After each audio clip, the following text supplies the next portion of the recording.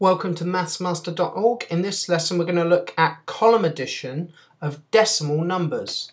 So here's two decimal numbers, 5.2 and 3.7. We're going to add them together. The main thing that you have to remember when you're doing column addition with decimal numbers is that you have to line the decimal points up above each other. So have a look at how we laid out the sum here. 5.2 add 3.7, you line the decimal points up. Once you've done that, everything else lines itself up really nicely. The units digits, the 5 in the 5.2 and the 3 in the 3.7, they line themselves up nicely, as do the tenths digits, the 2 and the 7, as shown. So the main point to remember is line up the decimal decimal point. Everything else follows. Okay. Then you simply add up each column. 2 add 7 is 9, so we write the 9 down there. Then the decimal points are next. Make sure that you bring that down there and put your decimal point down there. And then 5 add 3 in this column is 8. So the answer is 8.9. Right, let's look at another one now. You'll notice that two of these numbers have uh, two digits after the decimal point, whereas the 3.225 obviously has three digits after the decimal point. It's more important than ever that you follow this main rule. Line the decimal points up as shown in a vertical line like you can see there, and then it's easy. Let's have a look.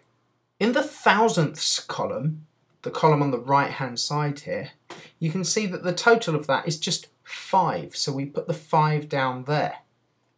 Okay, working our way across, we'd now do uh, the next column. We add it up. 3 add 1 is 4. Add the 2 is 6. Next column, 4 add 3 is 7. Add the 2 is 9. Next up, we've got decimal points, so we need to make sure we put the decimal point down there.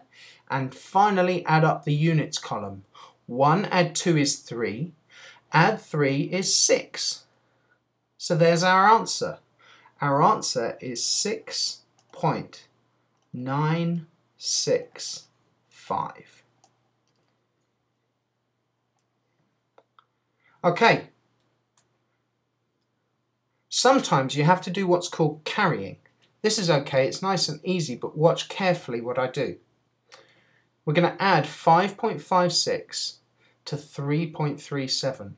Same rule, line up the decimal points as shown and then start on the right hand column with adding up.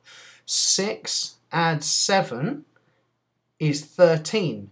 So with the 13, what you do is you put the 3 here but the 1 of the 13 you put down here. We call it carrying the 1. Now, add up the next column. 5 add 3 is 8, but we also need to add on the 1 that we carried. So the total of that column is 9. Next column we've got the decimal point, so bring that down there. And finally, the last column, 5 add 3 is 8. So our answer is 8.93.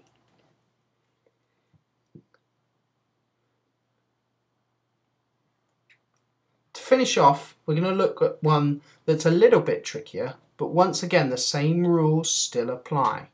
Line up the decimal points and then all the numbers next to it line themselves up nicely like this. Okay, start from the right. The right hand column is 2 add 8 is 10. So with the 10, we put the 0 there and we put the 1 down here. We carry the 1 of the 10 down there. Next up, 5 add 4 is 9. Add 3 is 12. But we also need to add on the 1 that we carried, makes 13. So we put the 3 there and carry the 1 of the 13 there. Next column, 4 add 7 is 11. Add the 3 is 14. And add on the 1 that we carried makes 15. Put the 5 in there and carry the 1 to the bottom of the next column. We now got to the decimal point, so make sure that you put the decimal point in there. Right, the units column. 3 add 9 is 12. Add 9 is 21. And add on the 1 we carried is 22. So we put the 2 there and we carry the 2 of the 22 to the bottom of the next column. And finally, add up the tens digits, this column on the left, we have 2, add the 2 that we carried is 4. So our answer is 42.530 or 42.53.